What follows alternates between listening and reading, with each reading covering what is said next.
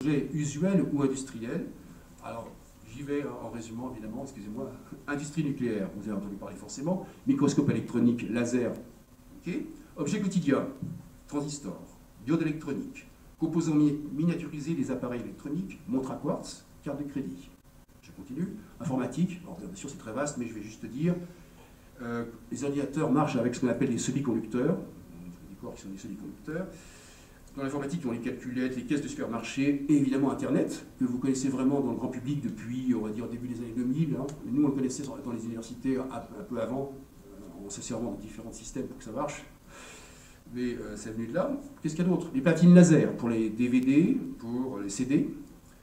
En médecine, vous avez peut-être eu des images par RMN, résonance magnétique nucléaire. Et puis, en navigation, euh, aussi bien des bateaux que nous-mêmes, le GPS, très utile quand on est en voiture, ou qu'on est dans la montagne, c'est pas ou ailleurs.